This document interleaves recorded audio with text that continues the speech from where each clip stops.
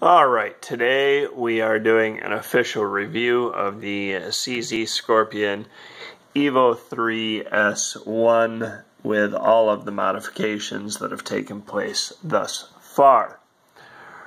Real quick, we are going to try and do a safety check one-handed here. I personally already know this is empty, but uh, we'll turn the safety on. And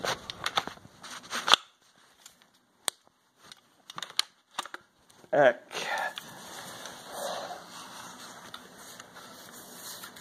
There we are, no bullet in the chamber. So,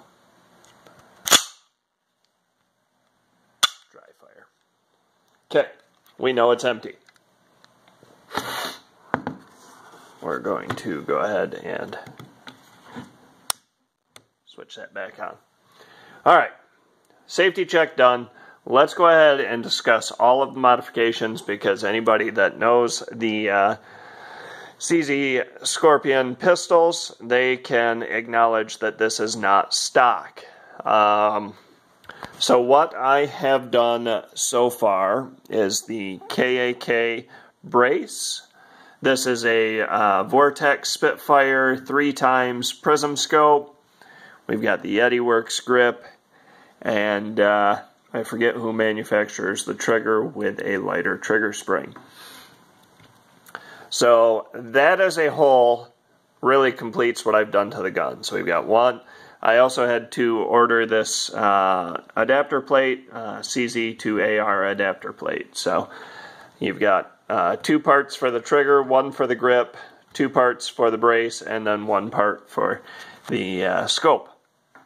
And so as a whole, we're going to run down uh, what we ran into at the range. And that was 200 rounds that we put through this, um, and it only had one malfunction. Um, so we did have to clear it, and then it was good to go. That was the only malfunction we had. It could have been a bad bullet, it could have been just a fluke, but um, one out of 200 I didn't think was too bad. So that's kind of where we're at with how well the gun performs. Prior to going out, I did have the scope sighted in at Cabela's, and it was pretty accurate at about uh, 40 to 50 yards. We did have to make some minor adjustments up top, um, but that did get it real close to the range of where we had to be. So that was easy enough to do, and other than that, it, it really performed outstanding. So let's go ahead and talk about comfort of shooting the pistol. This is a 9mm round, so it's no different than a handgun, just a bigger gun. Um, and uh, with the brace, it does make the gun very comfortable and very easy to shoot. Uh, the scope helps with being, you know, that, that far away, 45 to 50, especially with a 9mm round. Um, you try shooting a regular pistol that far away, and it becomes very difficult. But the scope made it easy.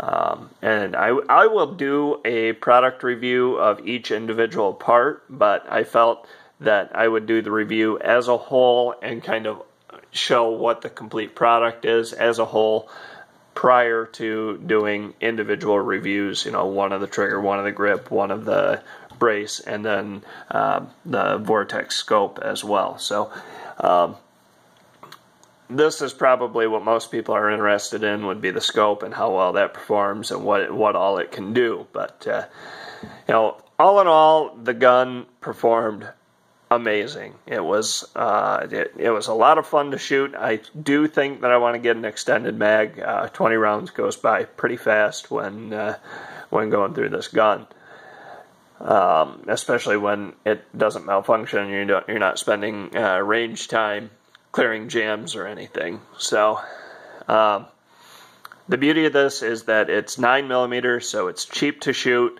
and it's it's fun. It, it was it was a lot of fun. Um, and you know, I, am not looking to get a bunch of yardage because really, I mean, everybody that can shoot rifles from from a far distance, I don't have that room to shoot.